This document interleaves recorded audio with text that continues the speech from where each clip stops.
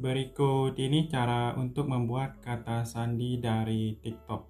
Untuk kalian yang mungkin kesulitan atau tidak memahami apa kriteria pada saat kita membuat kata sandi ataupun password.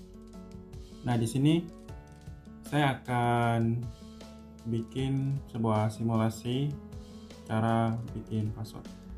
Nah, di sini bisa kalian kalau kita ingin bikin sebuah kata sandi di TikTok itu ada beberapa syarat yang harus kita ikuti. Pertama, minimalnya itu 8 karakter, maksimal 20. Jadi tidak tidak boleh di bawah 8 karakter dan tidak boleh lebih dari 20 karakter. Kemudian di sini ditulis juga harus ada huruf, kemudian nomor dan karakter khusus. Jadi misalnya saya bikin seperti ini, kalian bisa ikuti dengan password masing-masing yang mudah diingat misalnya dengan kata bulan. Nah, ini kan berupa huruf, kemudian harus 8 karakter, ini kan baru 5. Jadi ditambah dengan angka, pakai angka bisa juga disisipi dengan tanda baca. Misalnya saya tambah angka 80. Ini baru 7, jadi 88, 808 Nah, itu sudah ada centang hijau di 8 hingga 20 karakter. Jadi sudah 8. Kemudian kita harus melengkapi yang ini supaya bisa memilih berikutnya. Yaitu huruf, nomor, dan karakter khusus. Nah, apa itu karakter khusus?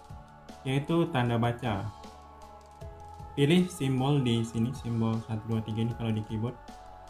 Nah, ini daftar tanda baca yang bisa kita masukkan yaitu mulai dari add, pagar, dolar, under ini under underscore, kemudian dan minus plus buka kurung tutup kurung slash dan lain-lain. Jadi silakan kalian tambahkan. Misalnya saya tambah plus. Nah bisa kalian kalau kita tambah plus itu bisa centang hijau Kalian bisa juga mulai dengan tanda baca dulu, kemudian angka bisa juga kata terakhir. Bisa kalian acak-acak di sini. Tidak harus seperti ini. Yang penting kalian pakai tanda baca yang ada di sini salah satu saya juga bisa atau bisa tambah lebih. Yang penting tidak lewat dari 20 karakter. Kemudian kalian lanjutkan dengan pilih berikutnya ini. Ada juga beberapa pengaturan dari sandi itu harus ada huruf kapital. Misalnya Nah, seperti ini ada huruf besar. Tapi kalau di TikTok tidak disuruh pakai huruf besar. Untuk itu silakan kalian ikuti saja petunjuk tadi atau petunjuk yang ini.